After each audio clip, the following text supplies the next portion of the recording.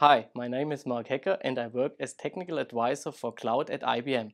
Today I'm going to show you how schematic service can be used to deploy a Kubernetes service cluster in a virtual private cloud infrastructure on IBM Cloud. For the demo we use an existing virtual private cloud, in short VPC infrastructure. I already have a VPC in the Frankfurt multi-zone region. This environment is distributed over the three data centers, also called zones, of the region. Schematics is IBM's as a service offering of HashiCorp's open source infrastructure as a code tool called Terraform. The first step for using the service is to create a workspace. Therefore we need a Git repository where the Terraform template and the other related files like the variable input file, are stored. As next step, the execution plan needs to be created. This step determines which actions have to be done to create a desired state, which is described by the template. The values of the target environment are stored in the variable file. Required are including the VPC ID, zones and the virtual machine flavor. Optionally, for instance, is the Kubernetes version.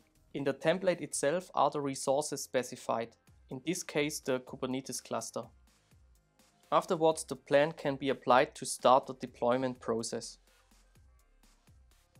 After a few seconds we can see the new cluster in the Kubernetes view of the UI.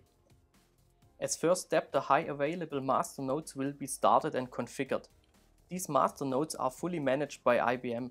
You will not see them in your account. Then the worker nodes will be deployed and configured. In our case, these are three worker nodes distributed over the three zones. In schematics, we can see that the plan was successfully applied and the environment is in desired state. With the IBM Cloud command line tool, we can now configure the Kubernetes command line tool kubectl to get access to the cluster. Once the config of kubectl is done, we can get the details of the cluster. The cluster is now ready to create resources and to deploy workload. Schematics tasks can also be invoked on the IBM Cloud CLI. With the Terraform plugin for the CLI, new workspaces can be created, updated and deleted. Also tasks like plan, apply and destroy can be invoked this way. If you are interested to deploy your first Kubernetes service cluster on IBM Cloud, you can find the link to IBM Cloud and to the repository in the description below.